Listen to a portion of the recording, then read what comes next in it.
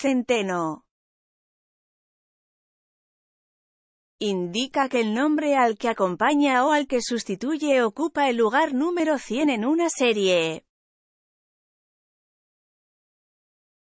planta cereal y forrajera parecida al trigo, de tallo delgado, fuerte y flexible, hojas planas, estrechas y ásperas, espiga larga, delgada y comprimida y semilla puntiaguda por uno de sus extremos.